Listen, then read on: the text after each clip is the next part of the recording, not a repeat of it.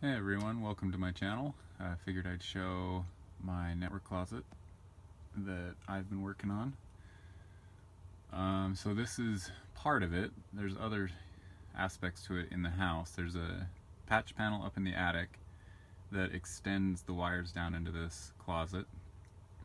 Um, and then my modem is in a different room and then I have a bridge connection into uh, this closet as well. So all the connections come into that network switch.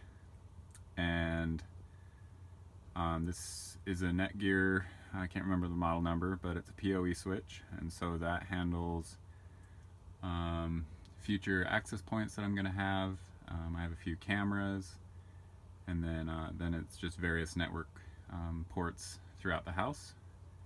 Um, my NAS or Drobo uh, lives in here. And so that's plugged into it and then that ASUS router is running in uh, AP mode.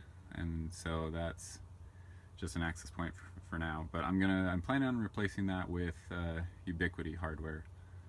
And so then I'll actually have better coverage in the house.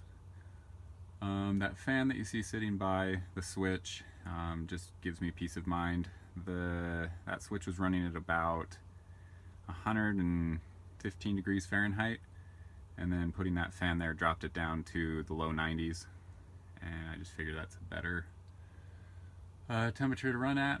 Um, you'll see the white cables hanging down, those are just spare wires. Um, I ran 12 Cat6 cables into this room and only can use 8 currently with that switch. That might change in the future, um, who knows. And I do have plans to have bring the modem in here as well once I swap out that router, that ASUS router.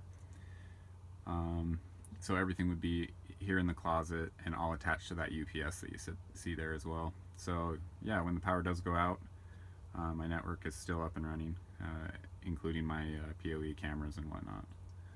Uh, so yeah, this is just a kind of brief overview of what my home network looks like and hope that gives um, people ideas or um,